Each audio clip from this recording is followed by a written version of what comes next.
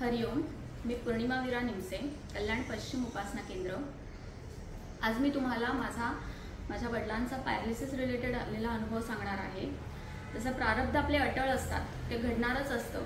पण बापू त्याची कशी आधीच अरेंजमेंट करून ठेवतो आणि कशी आपली सगळी सोय करून ठेवतो याचा मला खूप छान अनुभव आला जो मी आत्ता तुम्हाला सांगणार आहे. साधारण एप्रिल महिन्यामध्ये मला एक माझ्या मावस भावाचा कॉल आला की ताई माझ्या वडिलांना पॅरालिसिस झालेला आहे आणि मी त्यांना तु तुमच्या इकडेच एका हॉस्पिटलमध्ये ॲडमिट केलेलं आहे. तर मी थोडा फ्रेशवाला येऊ शकतो का? खरं तर त्याचा आम्हाला कधीच कॉल येत नाही आणि मी त्याच्या कॉन्टॅक्टमध्येही नव्हती. आमच्या आसपास त्याचे रिलेटिव्ह बाकीचेही राहतात. पण तरी त्याने आमच्याकडे यायला सांगितलं. तर मी म्हटलं हरकत नाही आहे पण दहा पंधरा मिनिटासाठीच आला आल्यानंतर त्याला मी चहा पाणी केलं. तेव्हा मी त्याला विचारलं की कसे काय झालंय? तर म्हणतो पप्पांना काल रात्री पॅरालिसिस आला आणि त्यांना आयसीयू मध्ये इकडे का हॉस्पिटलमध्ये ऍडमिट केले. म्हटलं कोणतं हॉस्पिटल त्याने हॉस्पिटलचं नाव सांगितलं. आणि मी त्याला विचारलं की मग तुझ्याकडे पैसे आहेत का? तर तो म्हणाला की हो ताई पैसे नाही आहेत पण डॉक्टर म्हणाले की उद्या दिले तरी चालतील. एक मनात थोडंसं असं वाटलं की अरे चांगलं हॉस्पिटल दिसतंय की डिपॉझिट ऍडव्हान्स न घेता त्यांनी पेशंटला ऍडमिट करून घेतलं आणि उद्या दिले तरी चालतील. त्यानंतर माझी आई त्याच दरम्यान कोविडसाठी हॉस्पिटलमध्ये ॲडमिट होती. त्यामुळे माझा त्याच्याशी त्यानंतर पाच सहा दिवस काहीच कॉन्टॅक्ट नाही झाला. एक सहा दिवसांनी मला सहज आठवण आली म्हणून मी त्याला मेसेज टाकला की कसे आहेत काका आता? तर त्याने त्याने मला रिप्लाय केला की पप्पा एकदम बरे झाले आणि त्यांना डिस्चार्ज पण मिळाला. तर परत एकदा मनात वाटलं की अरे चांगलं हॉस्पिटल दिसतंय. सहा दिवसामध्ये आयसीयू मधल्या पेशंटला डिस्चार्ज देतात ज्यांना पॅरालिसिस झालाय. मी सहज आपलं गुगल मॅपवर हॉस्पिटलचं नाव सर्च करून बघितलं. तर माझ्या घरापासून एक साधारण एक किलोमीटरच्या डिस्टन्सवरती ते हॉस्पिटल होतं. त्यानंतर सगळ्या गोष्टी राहून गेल्या सगळ्या गोष्टी व्यवस्थित नॉर्मल चालू होत्या. एक साधारण एक दीड महिन्यांनी माझ्या पप्पांना उजव्या साईडच्या राईट राईट साईडच्या डोळ्यातून कोपऱ्यातून थोडा विजनचा प्रॉब्लेम होता. जो एक वर्ष साधारण होता पण त्यांनी कोविड सिच्युएशनमुळे आम्हाला सांगितला नव्हता.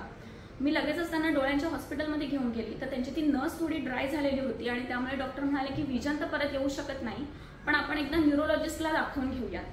त्यांनीच एक नंबर दिला. त्यानुसार आम्ही न्युरोलॉजिस्टला कन्सल्ट केलं. तर त्यांनी मला एम आर आय पप्पांच्या ब्रेनचा एम आर आय काढायला सांगितला. एम आर आय काढल्यानंतर त्यामध्ये साधारण एक सेंटीमीटरची गाठ दिसून आली. डॉक्टरांनी विचारलं काही त्रास होतोय का तुम्हाला? चक्कर वगैरे काही? माझ्या पप्पांना काहीच त्रास होत नव्हता. डॉक्टर म्हणाले हरकत नाही. आपण एकवीस दिवसाचा एक अँटीबायोटिकचा कोर्स आहे. तो कंप्लीट करू आणि एक साधारण एक महिन्याने तुम्ही आमच्याकडे परत या. पप्पांचा कोर्स चालू होता.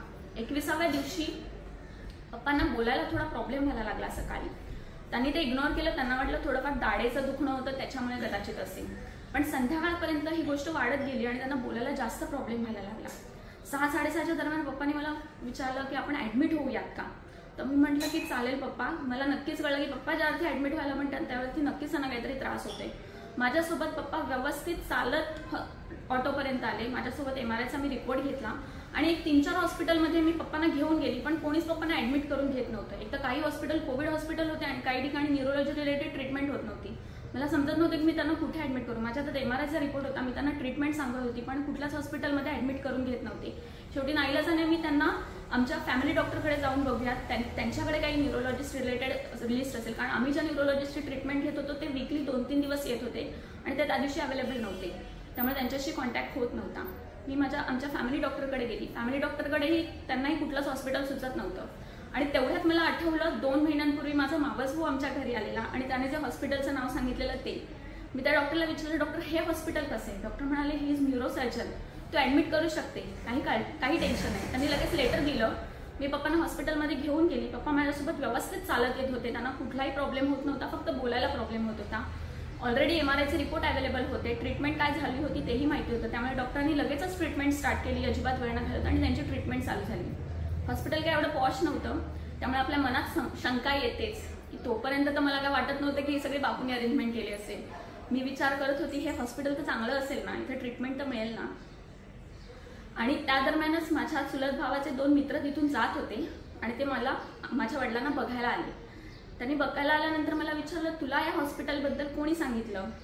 तर मी म्हटलं की अरे दोन महिन्यांपूर्वी माझ्या मावशीचे मिस्टर होते ते बरे झाले म्हणून केलं ऍडमिट तर म्हणजे तुला माहिती आहे का पूर्ण कल्याणमध्ये फक्त दोन न्यूरोसर्जन आहेत आणि त्यातला हा एक न्यूरोसर्जन आहे. आणि त्यावेळेस मला बापूंनी सगळी केलेली सेटिंग कळली की अंबज्ञ बापू की मला माहीत नसताना आमच्या घराच्या जवळ इतक्या हॉस्पिटल असताना बरोबर बापूंनी दोन महिन्यानंतर मला त्या बरोबर हॉस्पिटलमध्ये पोहोचवलं. एम आर आयचे रिपोर्ट ऑलरेडी रेडी होते. पप्पांच्या डोळ्याचं निमित्त काय झालं आणि ब्रेन रिलेटेड एम आर आयसाठी आम्ही गेलो काय? आणि त्यामुळे ट्रीटमेंट पण लगेच चालू झाली. दुसऱ्या दिवशी दुसऱ्या दिवशीपासून पप्पांच्या हाताच्या मुवमेंटचाही थोडा प्रॉब्लेम होत होता. आम्ही टेन्शनमध्ये थोडेफार होतोच. पण बापूंनी निरोप पाठवला की आईला सांग की काही होणार नाही त्याला. तो जसाच्या तसा परत ठणठणीत बरा होईल. आणि खरं सांगते सात दिवसांनी पप्पांना डिस्चार्ज मिळाला आणि पप्पा एकदम ठीकठाक होऊन घरी परत आले. आणि आता ते टू व्हीलर एकदम बिनधास्तपणे चालत आहेत काहीच काळजी नाही. प्रारब्ध होते ते अटळ होते पण त्यातून मार्ग आणि अरेंजमेंट सगळी वापरणी केलेली होती. हरिओम श्रीराम अंबज्ञ नाथ संमित